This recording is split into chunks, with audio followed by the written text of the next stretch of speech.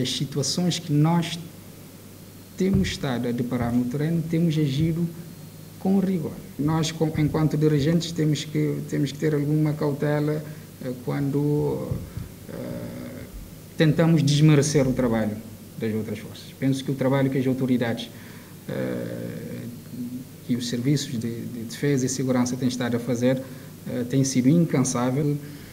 não diria que nessa fase o problema está na fiscalização. Por aquilo que estamos a ver, por aquilo que estamos a de notar assim há incumprimentos, mas eh, nós temos que ser objetivos quando fazemos essas análises, né? porque nós até hoje, até uma informação que nós solicitamos à Direção Nacional da Saúde, nós até hoje não temos informações sobre eh, o número de transmissão por via indireta aqui na cidade da Praia ou, ou nos outros municípios. E nós precisamos dessa informação para, de certa forma, focalizarmos uma ou outra ação.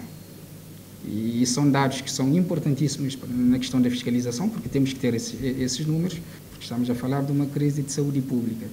Eh, nós, eh, diariamente, eh, temos equipas aqui, mas a participação do pessoal da saúde tem sido limitadíssima nesta fase, tem sido limitadíssima.